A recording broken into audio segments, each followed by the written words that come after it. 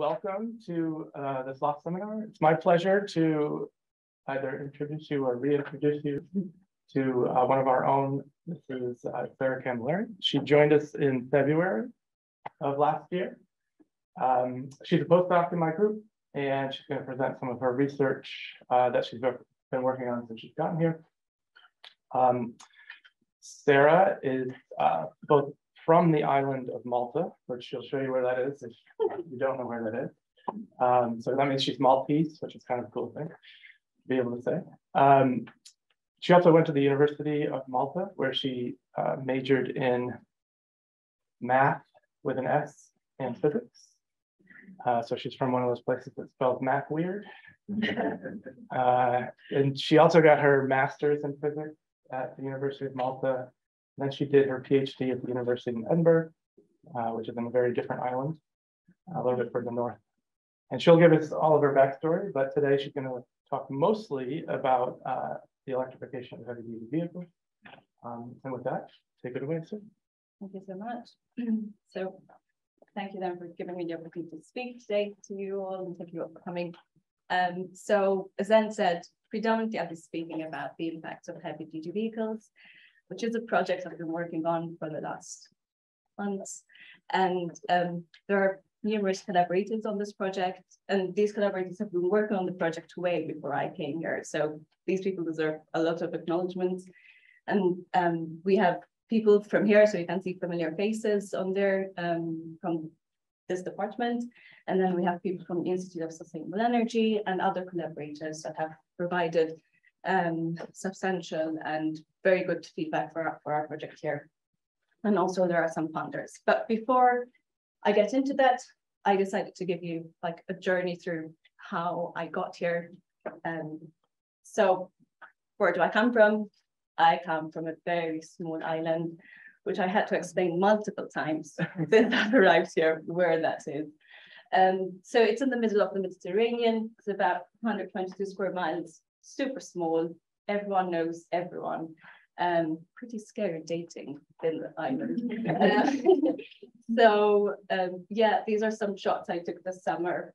Clear blue skies, um, clear waters. I'm a beach girl. I love the beach, um, but that's very a very biased um, image of our island. You wouldn't see that everywhere you go. Um, so I appreciate the senior I get to see here. I got my BSc um, in math and physics. I got an MSc. And that's the first time I started working with weather models. And my first introduction to the modeling world was using the WRF, the weather research and forecasting model. And there I used that model to simulate like um, wind patterns over our island. Being an island, um, it was very hard for models to capture such a small, tiny island in the middle of the Mediterranean with so many dynamics happening. So it was really hard to get the model working well, which we didn't fail to do, but it was still hard and still not working properly. Um, okay, then I moved to the UK. I moved to Edinburgh. Edinburgh is a beautiful city. We get to go there just to visit. It's beautiful. At the time, I thought there was maybe two snowstorms. It was the first time I knew about snow. I, I experienced snow. We don't get snow back home. And I thought I knew all about what a um, harsh winter was about. Yeah. um, I got my PhD in environmental science. And then I started to work with not only weather models, but chemistry climate models. So then adding the component of chemistry into the model, which adds complexity, but gives you much better results, right? Because it's a better representation of the real world. Um, I use different model resolutions ranging from global scales to um, more high resolution data, at about 12 kilometers. And I also um, dug into a bit the, uh, the interactions between air quality and health, which is what um, drove me to move to the UK for the first time and study abroad.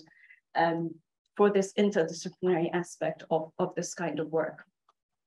Um, I was at the University of Edinburgh. I worked with Public Health England, who were my funding body, and with the Met Office, and these models were predominantly um, derived by the Met Office. So what's air pollution? That's something that, that's a picture from Los Angeles. That's how air pollution could look like. And that's how, in the absence of air pollution, what, what a day could look like. Um, this image here is from um, Los Angeles in April 14, 2020.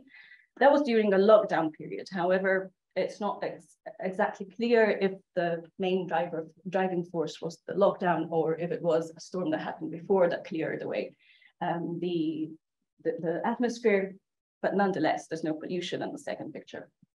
But sometimes we don't necessarily see air pollution, right? But we can have, um, there are so many adverse health effects associated with air pollution. In particular, this is the latest um, report from the Health Effects Institute, looking at particularly um, traffic-related air pollution. And there's all sorts of high confidence in the negative relationships between um, the exposure to air pollutants. And here, they're looking at PM2.5, NO2, and elemental carbon. And they're finding um, high confidence in, in all-cause mortality rates and circulatory mortality, but also morbidity effects related to like asthma, for example. So we've got emissions, right?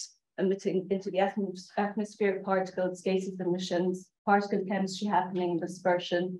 And then we have either the production of primary pollutants uh, like particulate matter and NOx, which I'll be talking a lot about, or secondary pollutants such as ozone, which has a lot of adverse effects as well. And then that creates all sorts of um, adverse health effects, which is why we want to study this. So going, I'm going to skim through some of the studies I've done throughout my PhD and my previous postdoc, and then I'll get into the um, heavy duty vehicles.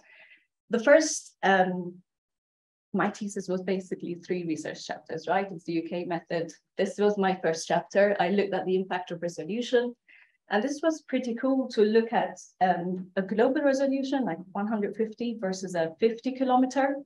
And what we found that was there, there was um, a lot of differences. This is like changes in PM2.5 for spring.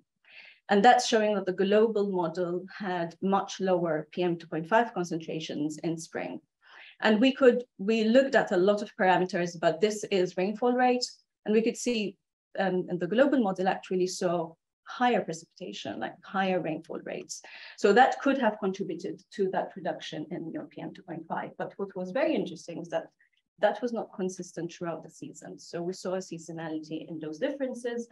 Um, and this is very important because if you do a health impact assessment using these concentrations, um, then that could um, impact your results. And we find that, that that impact was about 5% difference, plus or minus 5%, which is substantial when you're talking about health effects, right?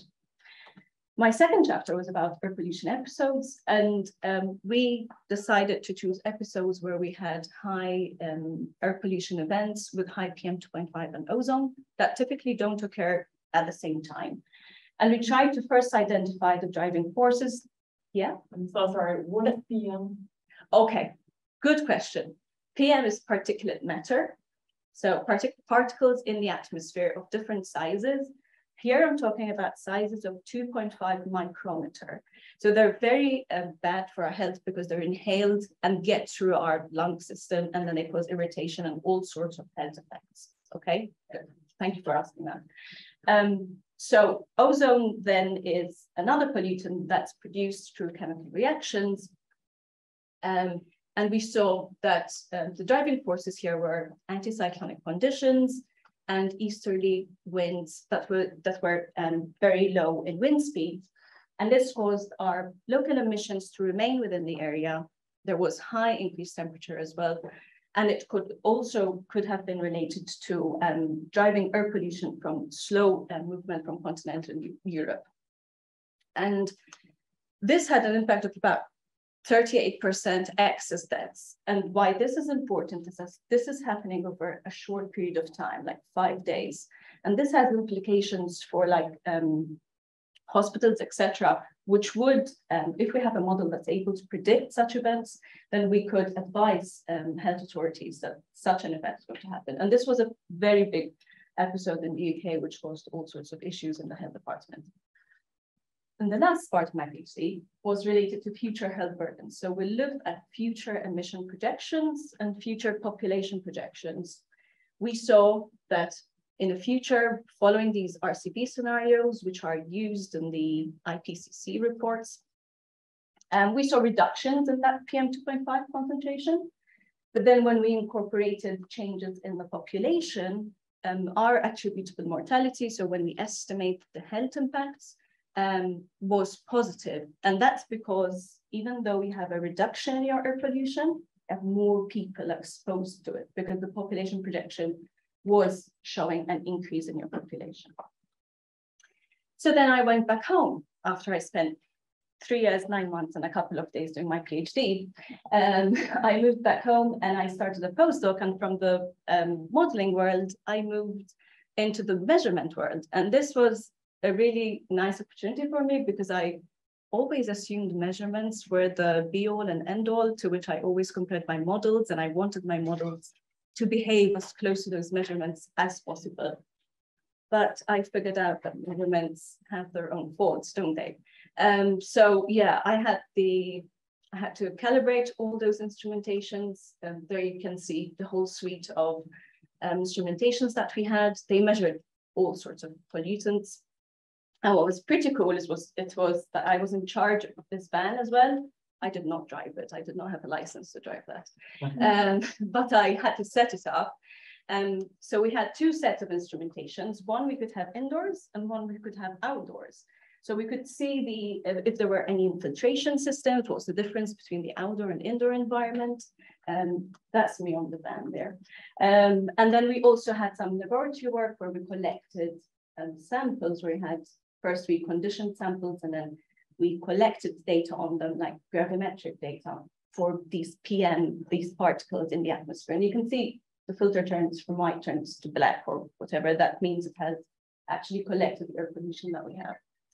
Um, so some work I've done amongst most, um, I've tried to um, try to, when we look at air pollution exposure, we typically have a population and we assume it's static, right? We the population data is typically where people live.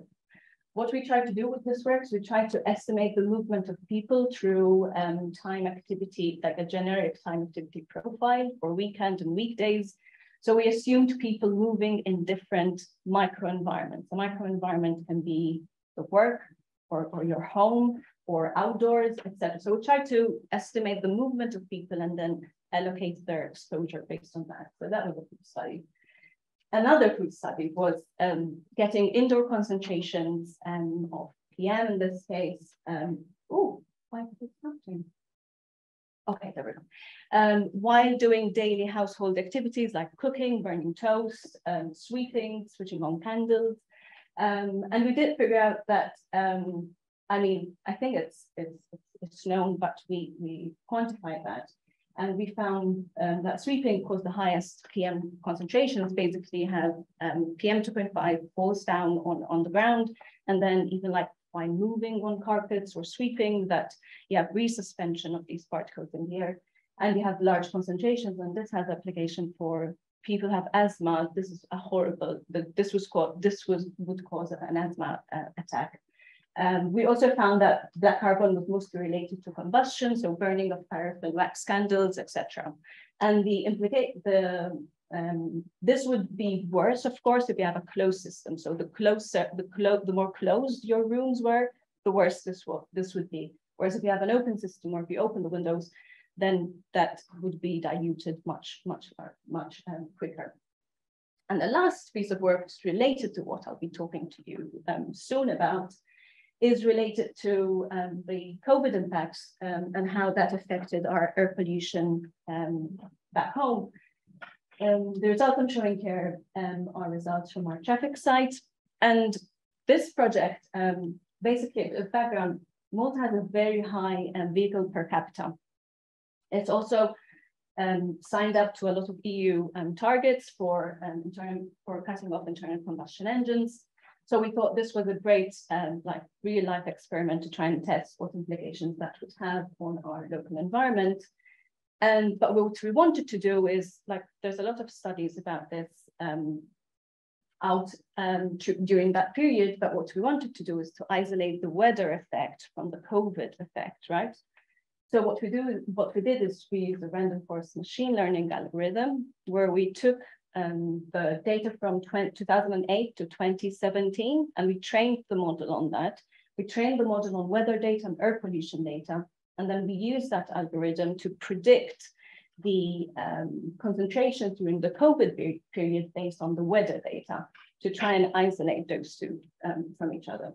So here you can see that initially the green, which is the predicted, and the black, which is the observed, are close to each other. That's what the model is predicting. And then here is when the school shut down in 2020. That was my birthday, horrible birthday. Um, and then we, this was the lockdown period, and you can see that our random forest is predicting that there should have been higher NO2 concentration, but because of the lockdown, there was lower concentration. And that difference between those two lines is, could be actually allocated to the COVID effect, right? So that was um, quite a neat piece of work to like isolate the, the impact um, to a machine learning algorithm. And if you want to look at numbers, we quantify that to be about 50, uh, decrease of about 54%. Then I came to Edinburgh and I figured out that's how I looked for the first six months since I came here, like from January to May. This is me. Um, so yeah, I moved back to the modeling world and today I'll be presenting to you um, what you all came to hear about the heavy duty vehicles. So this project, um, I'll be talking about the impacts of heavy duty vehicles and if we had to shift those to electric and their impacts of, on emissions, on the air quality, on health, and some environmental justice work. And that's the truck. so why do we care about heavy duty vehicles? So heavy duty vehicles only represent about 6% of on-road vehicles, right? So it's a small portion. When I talk about heavy duty vehicles, we're referring to like um, intercity transit, school buses, motorhomes, and we have the short haul and long haul trucks. We're referring to that classes two to eight. Um, heavy duty vehicles are large emitters of CO2, so shifting to electric heavy duty vehicles is a commonly sought after climate mitigation policy. It's also, however, heavy duty vehicles do not only impact CO2, but are large contributors to NOx, which is um, horrible for health. Um, also, NOx is related to ozone. When it's emitted in the atmosphere, it reacts to produce ozone. Um, and then it's a significant source of PM, particulate matter, um, it has also a lot of health implications. So 43% of traffic related to PM2.5 and ozone um, are actually attributable to um, diesel pollution. And NO2 is associated with pediatric asthma, around 200,000, that's the latest estimate. And also because of where the emissions of heavy duty vehicles occur, they do not impact everyone the same, but um, the emissions disproportionately impact racial minorities. So this has large implications. What we don't know about heavy duty vehicles, well, we know they um, they can have an impact, a great impact on, on climate and reduce CO2. But what we don't know is their impact very well, is their impact on air quality and health, particularly, particularly at high resolutions of about one kilometer. And that's important because we don't only want to know what's happening and by how much they're decreasing, but where those decreases are happening, right? Um, some stats about EVs in 2021, we were about 4%, and the 4% of sales were EVs. In the first six months of this year, it's about 7%. And we have targets of about 50% EV sales by 2030. So we have a long way to go. Um, if we want to stay with a, in, within the limit of a two degrees Celsius, then we have to target about 46% zero emission US um, heavy duty vehicles should be um, zero emitting for 2030. Okay, um, so this is this estimate of 46% related solely heavy duty vehicles. So what is our simulation about and how we how do we try to approximate um, this shift from internal combustion engines to electric? So what we do is we electrify 30% of heavy duty vehicles, and we do that by scaling down the vehicle miles traveled of each car. And then we also reduce um, the tailpipe emissions, refueling emissions and other emissions like extended idling emissions by 30%. And 30% falls within that range of all the estimates and projections that are out there at the moment. And but what we also want to know is we don't want to just know the, the reductions in emissions of the tailpipe, but we also want to know that additional electricity increase and what implications would that have in terms of emissions at power stations, right? Um, so we use here in this work, we do not account for any shifts in the electric grid infrastructure. So we're using the 2016 grid as is. So this is quite a conservative estimate because we know as time goes by, we have a decarbonizing grid whereby we are shifting to renewables. Um, so this is a conservative estimate.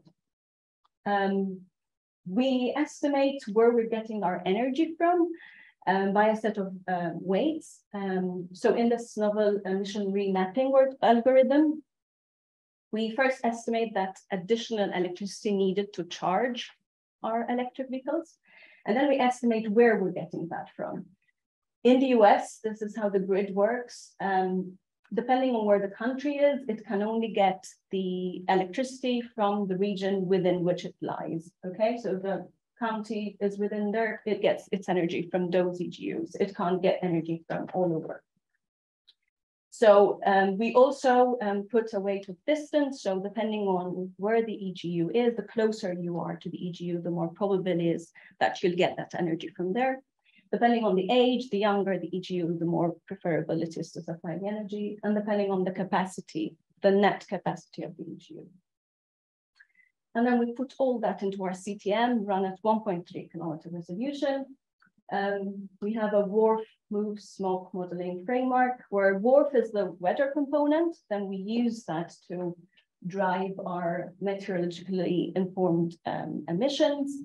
And then we use those emissions. And within those emissions, we have um, domain specific surrogates where we know where those emissions are happening at a very high resolution.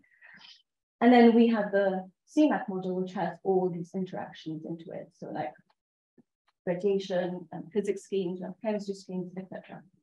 And this is two-way coupled, so the weather can impact our pollutant concentrations and our pollutant concentrations can impact um, our weather conditions. And we're going to focus on three main pollutants, NO2, nitrogen dioxide, MDA8 ozone, that's the daily maximum eight hour running mean ozone, and it's a metric used in health impact assessment. And so that's why we'll look at that in particular. And there's PM2.5. We run four simulations in total. Just to give you an idea, um, a run of one month takes about 12 to 15 days to run in real time. So we run one month, and one in August and one in October 2018, and then we run one in January and April 2019 to try and simulate the sequence, right? Um, we run a baseline whereby most of the heavy duty vehicles are diesel, and then we run the electric heavy duty vehicle scenario with this 30% reduction. And then we look at differences which are the EHDV minus the baseline. Well, this is one of the main results. So here we have reductions in NOx emissions. So you can see the resolution of our model able to capture the major road networks, high intensity in cities like downtown Chicago and Cook County, etc. So here we have overall on-road NOx reductions, as one would expect, removing the emissions from on-road. But there are also isolated increases, which are very small. It's where the EGUs lie. And these are where the power plants lie within our domain. And within those small points, we do see increases, but overall, we see reductions in our NOx concentration. And these are, so here, this is within our domain, we're predominantly running on gas, but we do have some coal EGUs, right? What does this mean in terms of net emissions? We have net emission, we actually simulate net emission reductions. For NOx, although we have increases at those um, points, at those EGUs, um, but overall we have um, net emission reductions of about 7%. SO2 is the only emission that um, we see increases, and that's related to the coal EGUs, which SO2 predom predominantly comes from their sulfur dioxide.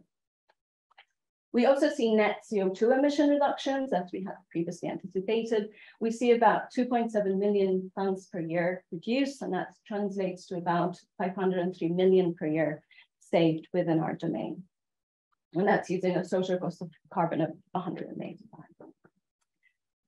Um, what does that imply in terms of air quality changes? So A is changes in NO2, and B is changes in PM2.5. So we see overall um, reductions in those two pollutants, and this predominantly reflects those changes in NOx emissions that we saw before. However, for ozone, ozone is a very particular pollutant since it's produced from other things. And it is very temperamental and because it depends on the chemistry of the atmosphere. So we actually simulate isolated increases in our urban hubs um, following this EHDV adoption, which is super interesting, right? For me, it's super interesting.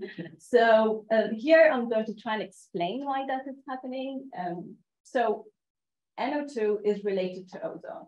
And this is the chemistry very simplified um, diagram of the chemistry that happens. And ozone can be produced through photolysis in the atmosphere, but it can be depleted by um, reactions with NO. And there are there's a relationship between um, NO and VOC. So if we look at the VOC to NOx ratio, that can help us determine what's happening in these diagrams here. I'm sorry, yeah. What's yeah. VOC? Okay, thank you. VOC is volatile organic compounds, and it has an um, it it is one of the drivers in ozone production. Okay, so it's a volatile organic compound. Um, so that is the transition line here, and I'll explain what I mean by that.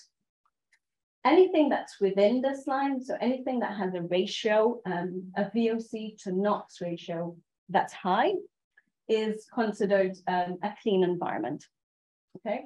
Whereas anything that has a VOC to NOx ratio that's low, meaning there's more NOx, there's more pollutants, um, is considered a dirty or a polluted environment.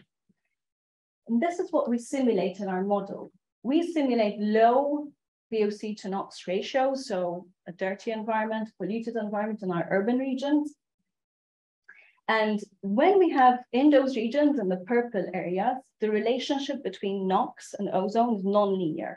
Once you reduce one, the other one increases. Um, when you are in this area, in a clean environment, in an urban environment, they have a linear relationship. If you reduce one, you reduce the other, okay? So what's happening is we have different chemical regimes here and the interaction um, between the NOx and ozone there are linear relationships and non-linear relationships, which creates a lot of complex, um, complex interpretation of these results, right? Um, we predict that um, at the moment we're somewhere here, right? If we had to reduce further our NOx even more than 30%, we could start shifting to a cleaner environment whereby the relationship would be linear. And reducing this would result in an overall reduction in this. Okay, so I'm hopeful that there's that heavy duty vehicles can even reduce um, ozone across our domain. We also looked at the exceedances, which means the number of days where your ozone levels are higher um, than a certain level. In this particular case, we're looking at 50 ppb. And we see actually an addition, an additional number of days where our ozone levels were higher than that level. Moving on to the health calculations. Um, so in this work, we looked at health calculations following this method here, where we first estimate the fraction of the baseline mortality that we can attribute, attribute to um, the change in concentration that we have. And we do that by using um, a concentration response coefficient that comes from epidemiological studies, where they look at a large cohort of people, they follow them up, and they look at the concentrations and the effects of people, and they come up with this relationship, a concentration response um, coefficient that we then plug into these equations. Um, X is the pollutant concentrations, and now we're looking at the census tract level. And then once we have that fraction that we know, we multiply that by the baseline mortality rate, how many people are dying, but we know the fraction that we can attribute to our pollutant concentration, and the population. So what does that result in, we see overall reductions in the attributable mortality. So the mortality we can attribute to that um, pollutant. And we see reductions in the PM2.5 attributable mortality. In terms of numbers, we're talking about 580 um, people annually and 65 annual avoided premature deaths related to these two pollutants. But we also see increases because of that ozone increase, right? Of about 54 additional deaths following this EHDV adoption scenario. What's important to highlight as well is that um, our differences in deaths, in attributable deaths, um, are a bit different from our spatial distribution of changes in NO2. And this comes from the fact, so you can see here some census tracts that have higher attributable mortality that's not particularly pronounced here. And that comes from the fact that in the equation, we do not have the only the effect of the concentration, but we also have the effect of two other data sets, which are the baseline mortality and the population, okay? So you can see here that there are some census tracts that have a high baseline mortality rate, meaning more people in those census tracts died. Um, so because all of those are incorporated in your estimation, then this has an influence as well, okay? Moving on to the last part of this talk, um, I'll be talking now about um, air pollution and health disparities. And there are multiple ways of how you can address this. We visit um, one small calculation here, which we're trying to um, improve and add more onto that. So what we did is we got our population and we got the census tracts um, and looked at the white population and took the 10th percentile and the 90th percentile. And anything below the 10th percentile, we um, defined as least whites, and anything above uh, the 90th percentile, we defined as most whites, okay? And then we picked those census tracts, and we looked at the changes in air pollution concentrations within those census tracts to try and see if there's a difference. So with that definition of least white, so anything below the 10th percentile of white population, if we look here, if we look at the blue bars, so that's the zero line here, and here you have changes in concentration, so reductions here in NO2, for example. And you can see that in the blue, the least white census tract, um, we see the largest decreases in our NO2 and the largest decreases in PM2.5 um, which are much larger than the, the most white um, census tract. And if we look at the attributable mortality, which are now the dashed blue lines, we can see that in least white communities, um, we see larger health benefits. You can see here reductions of 10% versus a reduction of about 5%. So we're seeing that in census tracts that we define as least whites, we have a larger health impacts, um, larger health benefits. So in conclusion, um, I hope I convinced you that shifting 30% of heavy duty vehicles, even though if we had to just leave our electric grid as is with no changes, then we see net emission reductions. We see also reductions in PM25 and NO2, even though we see some increases in ozone. Overall public health benefits, and we see those reductions in environmental disparities and health, better health impacts, better health benefits in um, marginalized communities. Some of our future work, so um, what we're trying to do now is um, we're going to update our emissions model. Um, right now, our interpretation of idling emissions is a bit limited and there has been some updates on that um, which we're trying to incorporate in our model to better, better represent these emissions, which are highly important for heavy duty vehicles in particular. Um, I mean, what I mean by idling emissions is emissions by trucks at warehouses, etc., while they're loading and unloading things. Um, we're looking further into environmental justice implications of this work using different metrics and using different indices, etc.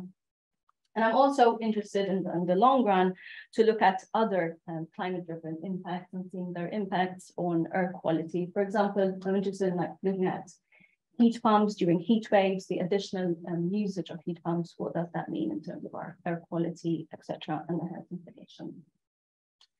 So with that, these are some references and thank you and I'll take any questions.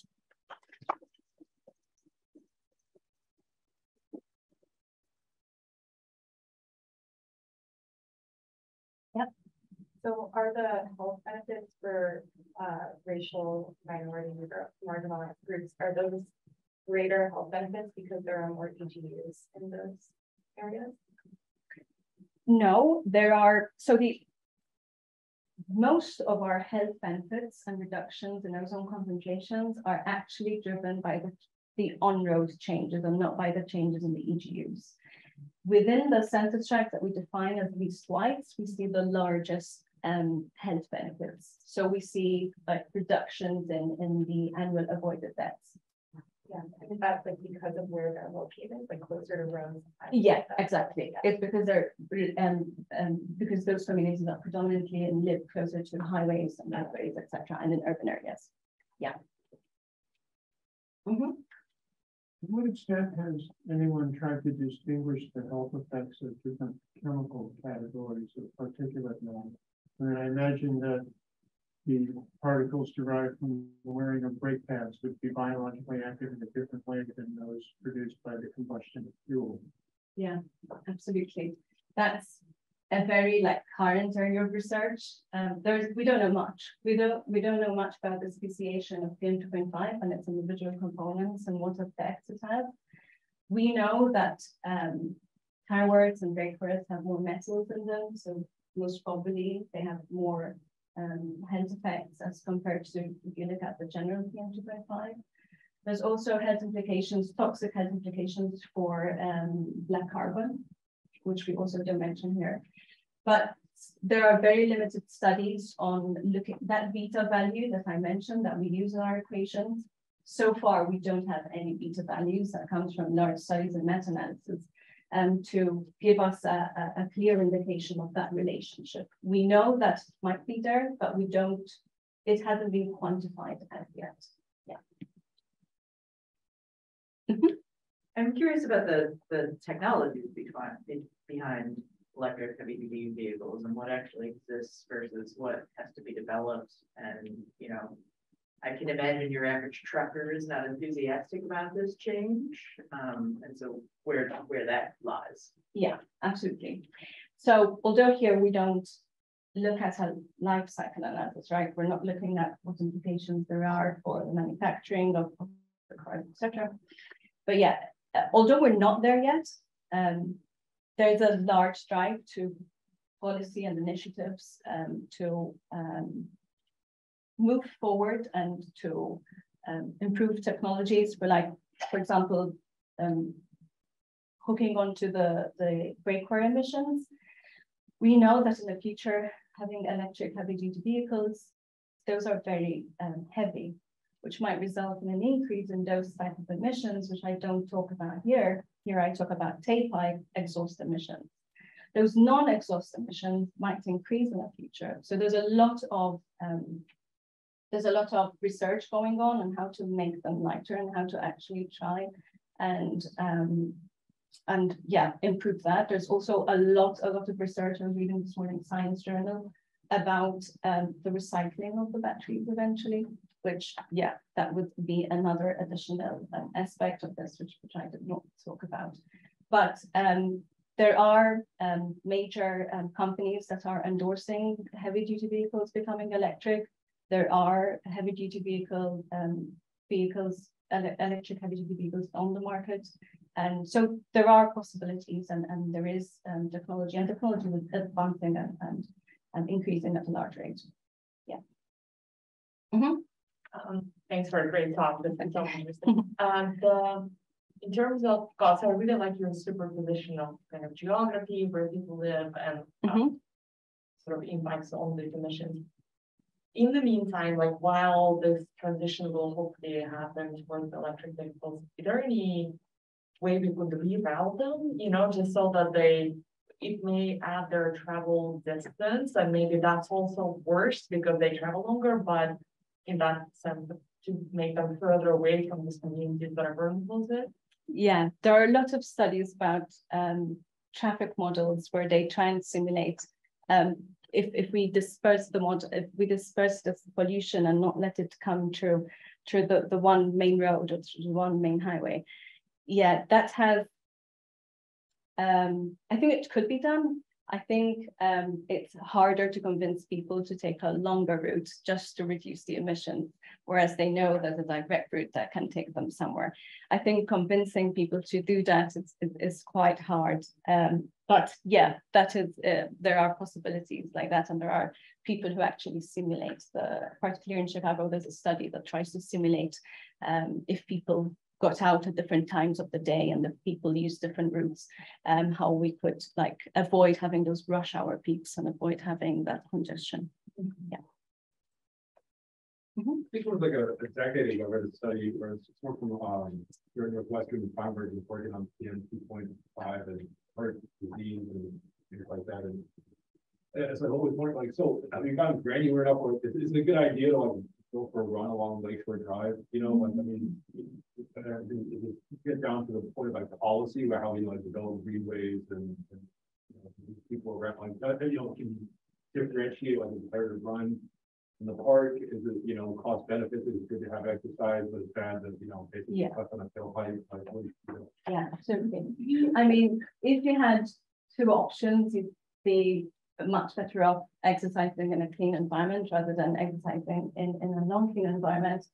But there's been a studies that have looked at the overall like cycle of things and actually exercising supersedes the negative health effects of exercising in, in a, in a polluted environment. So exercise wherever you get the chance to. Um, Yeah, but of course, if if you, it depends, because it always depends how long you're going to stay in that, like people also argue, like in traffic, are you exposed to such high concentrations? It depends how long you stay in that traffic. If you stay in a, for a long period of time in a lower concentration, it could be as bad as standing for a small period of time in a very high concentration. So it also depends on the time that you're spending in that environment. Yeah, I thought Craig's question was really interesting too. I've often wondered about the composition of the material, you know, so there's, is it, maybe you already answered this, but he was saying brake pads, I was thinking, you know, concrete particles, dust, but like. Particulate matter, Has it, has it- is it because it's, people can't collect enough and measure, like, or what's, what's impeding, you know, characterization of the material? Particulate matter includes all sorts of things in it. It includes metals, it includes organic um, components, it includes inorganic um, components to it. It's just a collaboration of, of things together and joining up together, and it's they're defined by size. Um, but yeah, parts of it um, are more toxic than others, and then yeah, parts of What it. the relationship together with the electric, electrified vehicles, you know, I know you showed a stuff, but I, I didn't get like, so that made the problem worse or better with electrification and, and, The particulate matter, yeah. Yeah, so because we're looking at um exhaust. Um, yeah, we see overall reductions in RPM two point five. Uh, there we go. Yeah, so that's that's our PM two point five. Now, in this case, we're not taking into account um the non-exhaust emissions. So we're not taking into account changes in in brake wear and tire wear. Basically, because uh, we assume well, electric vehicles are still going to go on the road, they're still going to have brake wear and tire wear. So here we just have the exhaust component of, of things. Yeah. Great, thank you. I'll do one. Oh, no, you go. Um, how did you settle on simulating a thirty percent reduction in that heavy vehicle? Yeah. I think thirty percent is an in-between, is a happy in-between between all those estimates. Um, of fifty percent and like within all the estimates so far are sort of targeting at having about a fifty percent electric vehicle, fifty percent electric vehicle sales by about twenty thirty. So we think like thirty percent for an instantaneous change now is like within that range. So that's how, yeah, there isn't much like science behind that, but. We think it's impossible. Yeah. Mhm. Wait, well, why are there so many cars in Malta? Oh, yeah. I don't know the answer to that. It's very densely populated, so there's a lot of people. But yeah, I think the mentality of people is just everyone, once they turn 18, they go buy a car. And yeah, families have one car per person, some have three per person, and yeah, it's just. It's, it's, it's a cultural thing and people love cars. Yeah, I am guilty of using my car for a ten minute walk when I go back and I walk for hours here, but yeah, it's, it's crazy. Um, yeah, and I mean. It's, it's also a question of what comes before the chicken or the egg. There's been like initiatives to try and have public transportation, but because we have such a traffic problem, then the transportation is, is horrible. And then people don't use it. And then it's it's just we have very narrow roads. And sometimes the, the transportation um, just doesn't work. Um, um, and there's also like initiatives to try and have an underground system. Um, but because it's an island, there's a lot of implications. There's a lot of um, historical remains in our island, which cause all sorts of issues when you try and dig down. Um, so, yeah, we're in particular. yeah, Thank you, and uh, thank you all for coming. thank you.